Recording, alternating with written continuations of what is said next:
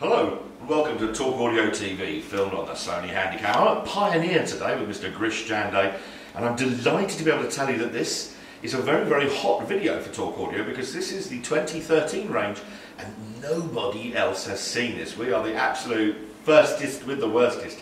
Um, this particular board has got the AVH, NVH, and DEH products on. The other room's got some, I, was, I felt so warm and loved. It's all set up especially as if there was a whole crowd of press and it's just my fat self in it. Um, but those, uh, uh, the DAB and uh, app radios are in the other room. But we'll, um, we'll, we'll, do clips on those as well. But first off, um, tell us about the uh, phone pairing and how easy it is to do with that big, sexy uh, double DIN in the middle of your board there. The FHX 700BT there, Girish. Talk to us. Tell yeah, us about sure. Well, firstly, um, Adam, you are right. This is uh, quite an exclusive for Talk Audio. So what we're doing is we're just going to have some a run through on some of our key features on our new products, which no one else has seen yet. So it's a, it's a big exclusive for you. The first one is this unit here. So this is our FH um, X700BT. The X is for mixed tracks and the BT is for Bluetooth. Right. And what we're going to do is we're just going to show you how easy it is to pair a phone to a Pioneer product. And we use a Parrot Bluetooth module, um, and we also use a, a profile called SSP for simple, secure pairing. I'm going to show you how easy it is to pair a phone. So I haven't touched the unit. All we've done is just switch the demo board on. And I'm going to use a, an iPhone 5. And what I'm going to do is just go into my Bluetooth settings. Show the camera, go on. I don't know if you can see that there, and it's just kind of bringing them all up here. So we haven't done anything to the unit yet. We haven't even switched it on. It's as though you've literally just got it out of the box, had it in your car, powered it up for the first time. You haven't done anything. So we'll just go and select the unit we want there. Zoom one into your hands. it. There you go. So you can see what it's doing is there's a, a pin code which has come up on the unit there, Yep. and it's come up and then automatically now we've connected on there. So on here it says, can you see there it says connected? Yep. There we go, connected. So I haven't touched the unit yet.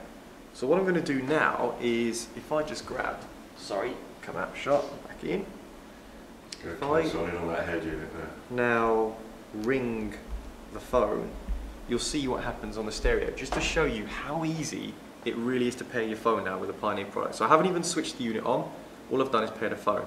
And there you go, instantly, the Gee, phone is working. yeah, That was just demo mode, just sitting there as if you'd been driving along, but um, yeah, that was in demo mode, you can switch all that off. So you can see how the illumination is changing, but it's fixed on the display. Gotcha. So I'll just hang up this call now. And what I'll do is I'll show you a key feature, just to kind of make it easier to use, is how to change the illumination for a phone call. Yes, So what we'll do is we'll switch the unit on, so you can see it's come out of demo mode and it's gone to um, RGB zone. So if we just go into any source, say for example, I don't know, uh, Bluetooth audio, let's make sure no volume comes through, can you see instantly how the illumination is different from the display? It's what, it's what we call split zone RGB. Uh, RGB standing for red, green, blue, like the pixels of your television, so you get pretty much, you know, only 210,000 colours, so pretty much all the colours you could ever imagine. Only. Yeah. So we're in illumination mode. So if we want that one, we can have change the phone color, we can change the dimmer, the key color, or the display color. That's going to sell a lot of you. And just to show you there, you can kind of see how the display is changing on its own. cool. Yeah, baby. And we'll have that in scan mode, and then if we go to uh, key color, we can have that in any color we pretty much want as well.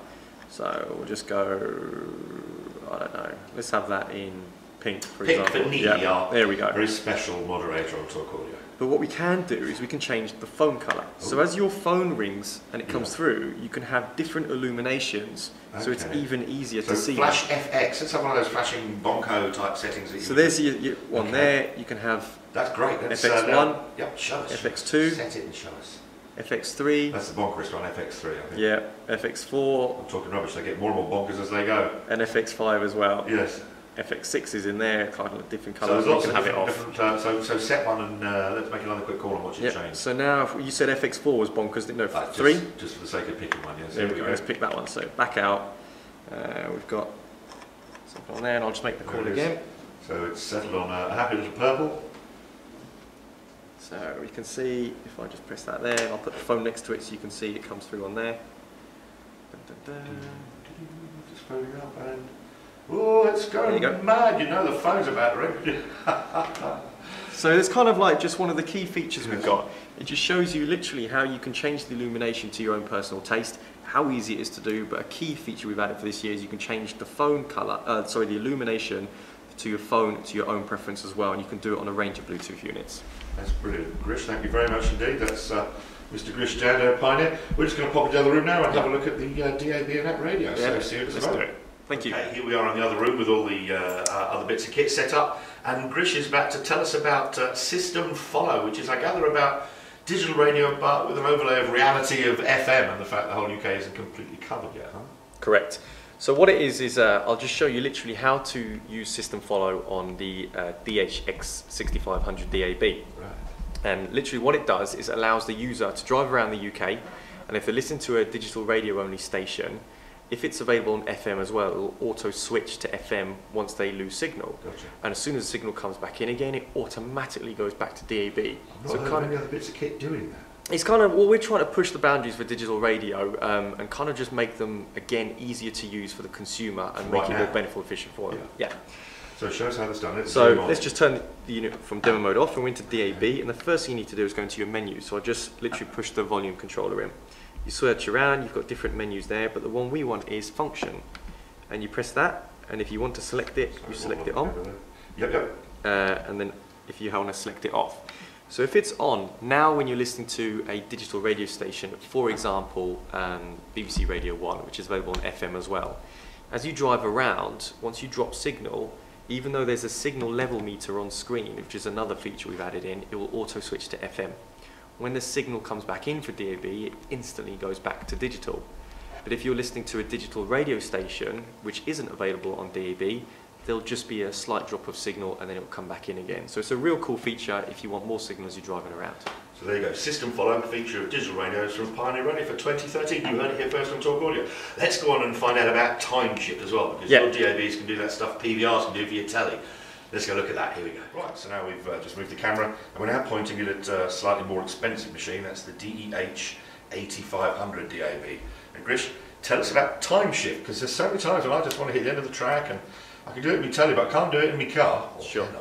Well, you can now, Adam. Um, so what we're going to do is this is our first single DIN DAB unit with built-in Bluetooth as well. So we're bringing this out into the market. It's available very, very soon. You're the first person to actually see how this works outside of this building. So what we've done is we've introduced a feature called Time Shift. Now, if you're or uh, listen, uh, watching TV at home, it's one of the things that's changed it is you can pause and rewind live TV, for example. Yeah. You want to go and put the kettle on, or someone rings a doorbell, or I don't know, your, your cat's walk past and you need to see what's happened again. On this one, you can do pretty much the same thing, but on live digital radio. So I can pause what I'm listening to, also I can rewind what I'm listening to, and I'll show you how to do that. Show me, let's zoom on in. So if we just switch the unit on, the first thing you need to do is tune a digital radio station in. Now different to FM, FM you get white noise in the background. On digital radio you don't. You can't hear nothing until you physically tune a station in. Zeros and ones. So very easily, you just go onto there, choose the type you want, and if we go around to say a digital only station, for example, BBC Radio 1 Extra, Your fave. Cool. Hit that thing. ah, that's how we run them, you know. So there you go, you can hear the music in the background there. Now you can see in there we've got BBC Radio 1 Extra. If I push and hold the volume button, what I've just done is I've just paused live radio. And currently, we're the only ones that can do that at the moment. So this is completely going to change how you listen to radio in the car because no one's done it before. So if you're on that happening radio station and you're going tune, tune, but Yep. you got to the front of the queue at Mackie D's or the drive-through, you can press pause and just carry on grooving the moment you got your chicken. Correct, yep. So what you can do is once you've got your munchies, Yes. push and hold again, Yes.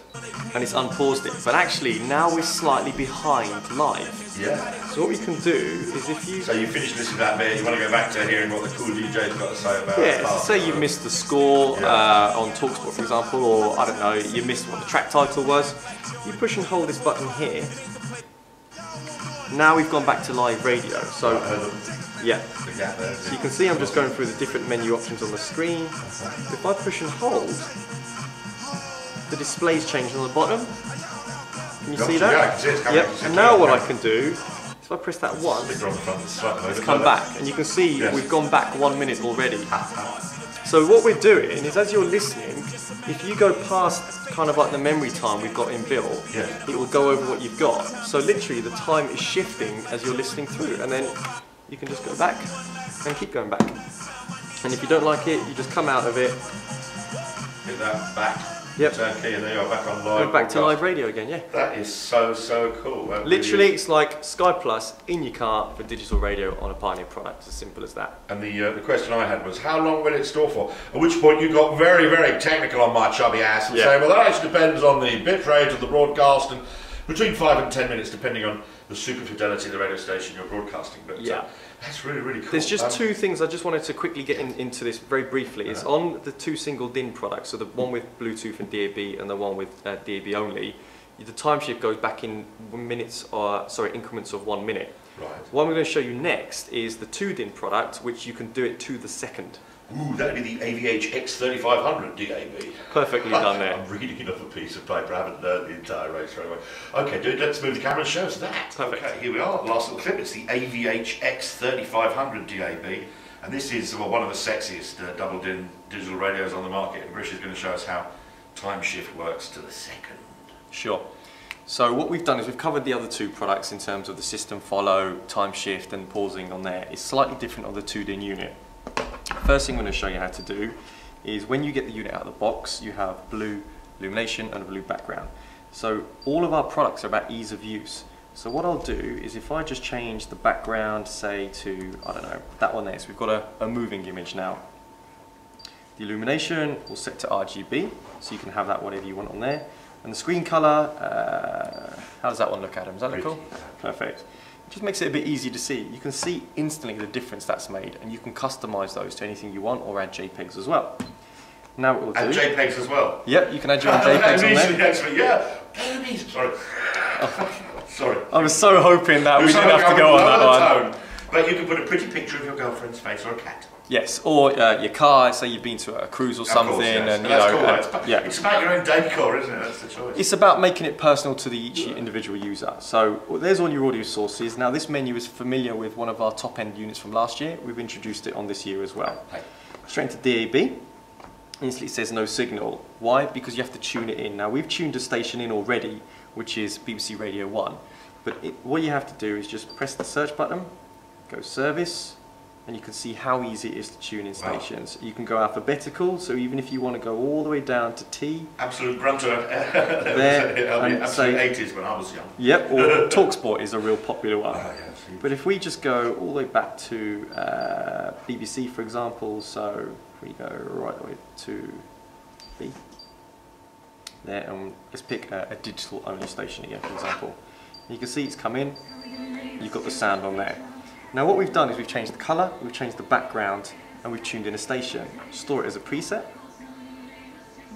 So the colour in the background, it's, That's it's it. great. But you can actually, and it's all there. I'm feeling like jazz, and jazz is a blue background. Yeah, you can change that as well. And you've got That's all the excellent. different menus. So now when you store Yes. them, it actually stores the station name as well. Yeah. Dynamic is once you've listened into it, you can then, then get the track information and artist information, whatever the broadcaster is broadcasting. All the lovely metadata over the Yep. Via digital radio. Exactly. Now, what you can do on here is service follow is on as default, which is different to what we showed before. Gotcha. But the reason I've showed you this display is because you can actually make that much easier to use by pressing one button, and that's that one there, time shift. So now you've changed the display. It's so much easier to use in the car. What we'll do is, I've just paused live radio. Gotcha. I've just unpaused live radio. Or I can go back to exactly where I want to Oh be. Oh man, that is and not just one minutes. No, literally down to the second. I don't know if you can see that clearly, but the cursor on the top, No, so your fingers in the way there, Tam, but you can just see it. Flick, flick, flick, you can actually see it. It's flickering past the digits. Yeah. You can see it's not a whole minute. So let's just say that I just remember there was that uh, I knew this girl who. Uh, oh, there's a moment. What was it in that? Uh, anyway, you want to hear that lyric again when she goes, or bloke goes, yeah.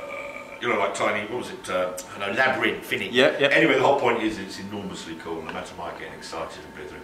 Girish, thank you very, very much indeed. This You're has, welcome. Uh, been Adam Rayner and Girish Janday checking out the uh, 2013 range of Pioneer car electronics. And uh, absolutely chuffed rock to be able to say that Talk Audio was uh, the very first outfit Yep. to be able to check that out. So, and uh, remember, time shift is how we roll. Thank you very much, Girish. Adam Rayner and Girish Janday signing out for Talk Audio TV. Thank well, you. I've just said goodbye and I'm now saying hello from the office. Fact is, we have a small error um, in the end of that video. The takes were too good to uh, to waste them, though, especially as this is still very hot information Europe wide. Um, we said system follow. Uh, when you look at the display of the head unit, it said service follow. This refers, of course, to uh, the same system, which is about tracking an FM broadcast um, behind the digital radio, so that if you do run out of digital radio broadcast um, actual output somewhere in the boondocks and the FM's still out there soaking the world, well, you can still listen to the FM. Um, good feature for the meanwhile. Oh, gosh knows when they're going to turn the FM transmitters off. In the meanwhile, this kind of service follow is a good feature. And uh, apologies for the error.